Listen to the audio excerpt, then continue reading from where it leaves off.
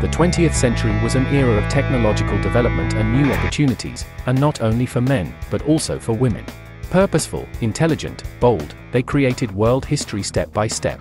Our today's heroines created their stories in the sky, opening new horizons, not only for their contemporaries, but also for the next generations of women.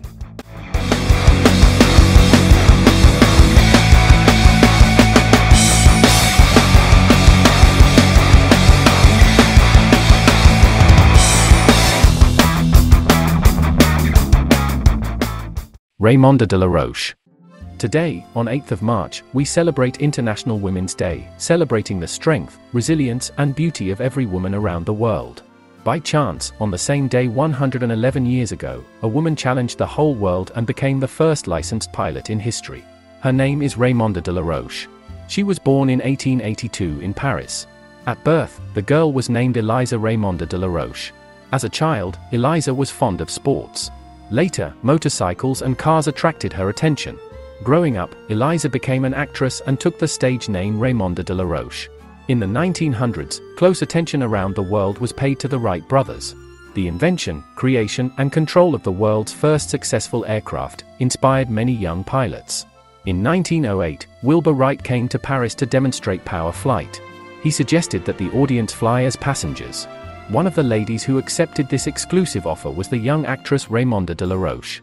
In fact, this flight was a turning point in the life of the actress and laid the foundation for her passion for aviation. After that, she turned to Charles Voisin, a pilot and designer of aircraft, and asked him to teach her how to fly.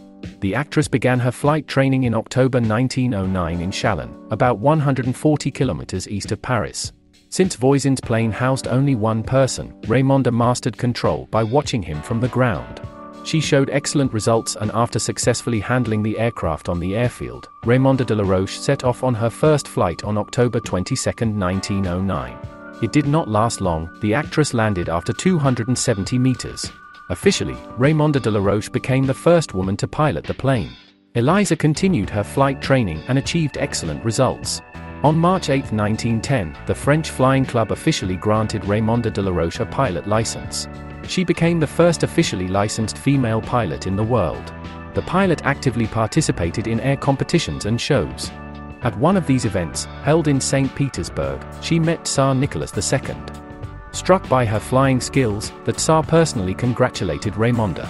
Not all air shows were successful. On one of them, a strong wind forced the French pilot to land near the barriers that separated the airfield from the crowd. A little more and the collision of the aircraft with the audience would be inevitable. In Reims, participating in the competition for first place among women pilots, she had a serious accident, due to which Raymonde de Laroche had to stop flying for two years. Recovering from car and plane crashes, she began to fly in 1913 again. Perhaps it was the best year of her aviation career, she won the Coupe Femina, a French award for women pilots. In this competition, Raymonde made a record flight at that time at a distance of 323 kilometers, which, unfortunately, ended in a mechanical breakdown. Fortunately, Eliza remained unharmed. Then she broke another record, and this time for the highest flight altitude. Raymonde de Laroche flew 4,500 meters above the ground. However, the First World War ended her career. All commercial aviation was stopped to focus on war efforts. The French Air Force banned female pilots from participating in the war as well. However, it did not stop Raymonde de Laroche. She became a military driver, took army officers from the rear to the front trenches. After the war ended, Eliza continued to fly. In early 1919, she broke another record, this time flying at a record altitude of 4,800 meters. Unfortunately, her career ended very early. Since she was also a talented engineer, Raymonde de Laroche wanted to become a test pilot and help aircraft manufacturers create aircrafts. On July 18, 1919, she and her colleague went to the airfield in Le Crotoy to test an experimental aircraft.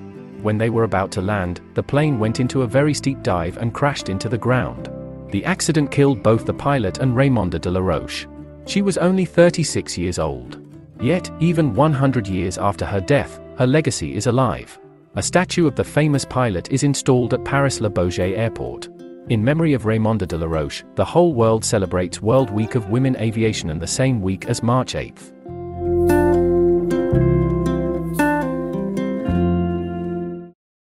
Bessie Coleman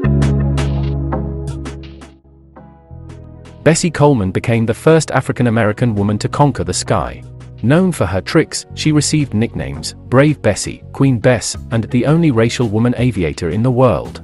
Bessie Coleman was born in Atlanta, Texas, on January 26, 1892. She grew up in a large and noisy family, among 12 brothers and sisters. In her youth, Bessie helped her mother collect cotton and wash linen to earn additional money. By the age of 18, she had accumulated enough money to enter the university in Langston, Oklahoma.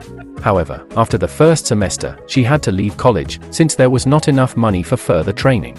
At the age of 23, Coleman moved to live with her brothers in Chicago. In 1915, she entered the Burnham School of Beauty and became a manicurist at a local hairdressing saloon. Meanwhile, her brothers served in the army during World War I and returned home with stories about how they spent time in France. Her brother John teased her because French women were allowed to learn to fly on planes, and Bessie was not. These conversations woke Coleman's desire to become a pilot. She filed documents with many flight schools across the country, but no school accepted her because she was African American and female. The famous newspaper publisher Robert Abbott advised her to move to France, where she could learn to fly. A purposeful girl began attending French language courses in the evenings, because a statement to flight schools had to be written in French. Finally, Bessie was admitted to the Caudron Brothers Aviation School in Le Creux, France. On June 15, 1921, she received an international pilot license from the International Federation of Aeronautics. Coleman's dream was to have her own plane and open her own flight school. In order to earn money, she gave speeches and showed films about her air stunts in churches, theaters, and schools. She refused to speak in places where African Americans were discriminated against. In 1922, she made her first public flight. A feature of the Brave Bessie flights were her famous stuntman tricks. People were fascinated by her performances, and she gained popularity both in the United States and in Europe. Coleman toured the country, giving flight lessons and performing in flight shows, and urged African Americans and women to learn to fly. Just two years after starting her flying career, Bessie survived her first major plane crash. In February 1923, the engine of her plane suddenly stopped working, and it crashed. As a result of the accident, the pilot received serious injuries, a broken leg, several broken ribs and cuts to the face. Fortunately, Coleman was able to fully recover. In 1925, she returned to performing dangerous air stunts. The hard work and support of the patrons helped her accumulate enough money to purchase her own plane. On April 30, 1926, Bessie made a test flight with mechanic William Wills. Wills was flying a plane, and Coleman was sitting in the passenger seat. At an altitude of about 3,000 feet in the air, a wrench was stuck in the aircraft's engine. Wills could no longer control the helm, and the plane rolled over. Unfortunately, Coleman was not wearing a seat belt. At that time, the aircraft had neither a roof nor any protection. Bessie fell out of an open plane and died. The plane crashed a few meters from Coleman's body, Wills also died. Her death was a tragedy for thousands of people. Brave Bess dreamed of giving hope for achieving her dream to women and African Americans, and she succeeded. In 1931, the Challenger Pilots Association in Chicago began the tradition of flying over Coleman's grave annually. In 1977, African American female pilots created the Bessie Coleman Aviator Club. In 1995, the Bessie Coleman postage stamp was released in memory of all her achievements. And although Bessie Coleman's career ended in a tragic plane crash, her achievements continue to inspire people around the world.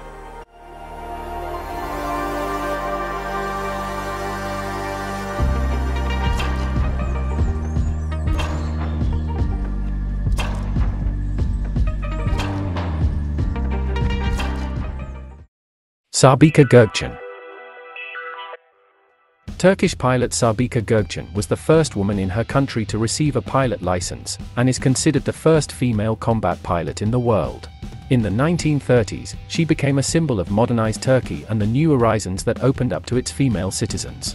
By flying alone over Turkey and the Balkans in small biplanes, wrote the independent newspaper in London, she became Turkish Amelia Earhart, a local celebrity wearing a hat and glasses. Sabiha Gökçen was born on March 22, 1913 in Bursa, a city in northwestern Turkey. When she was child a child, she lost both of her parents.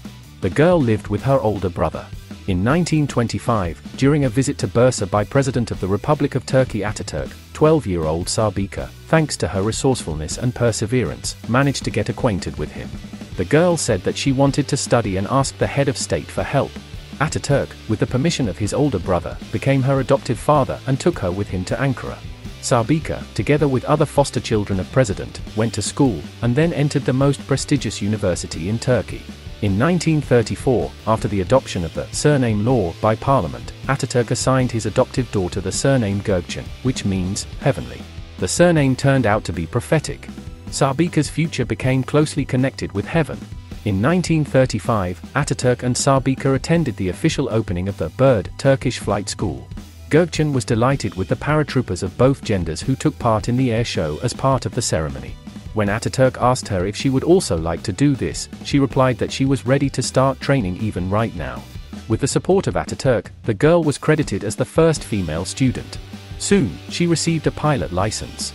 After that, together with her classmates, Gökçen went to the Crimea for advanced training courses and a diploma as a teacher of a flight school.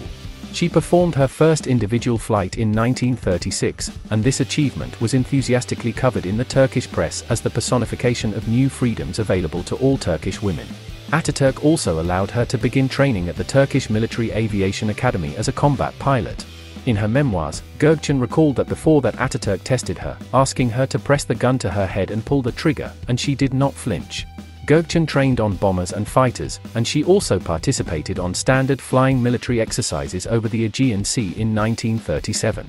In the same year, she took part in her first and only assault flight, the bombing of the Kurdish uprising in the province of Tunceli.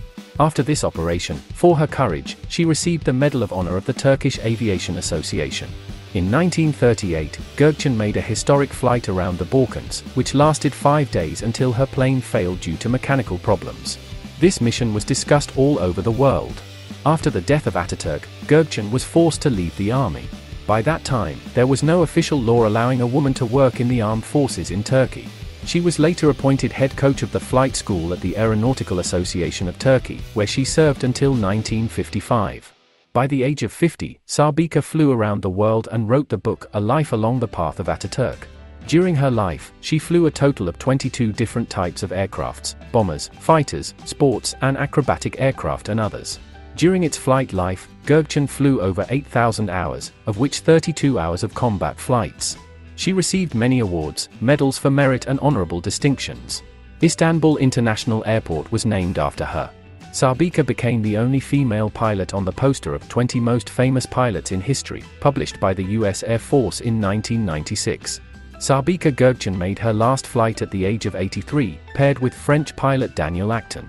The pilot died at the age of 88. Despite the difficult conditions of her time, Sabiha Gökçen showed that a woman can show acts of bravery not only on earth, but also in the sky.